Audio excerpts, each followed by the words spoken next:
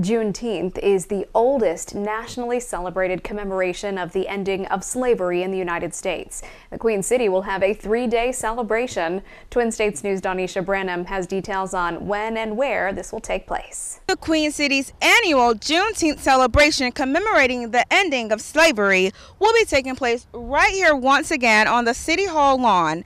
Terrence Davis, the Cultural Affairs Coordinator, tells us what we can expect. This year's Juneteenth Festival is going to be very special and very different. This year we're doing three days, which start in June the 17th through June the 19th.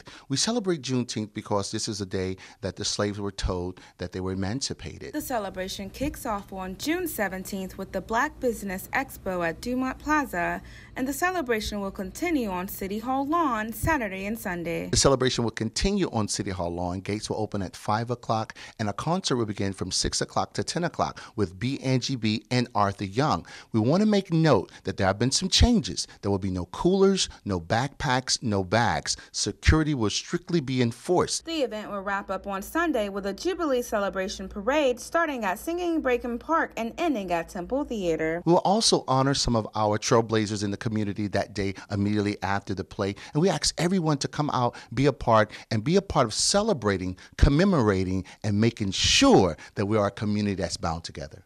Davis says that he hopes everyone comes out to attend the celebration and is happy to be able to have the celebration in the Queen City.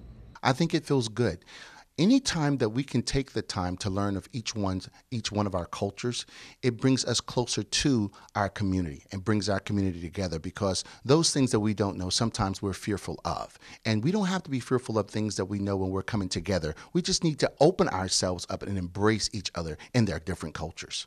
Donisha Branham, Twin States News, Meridian.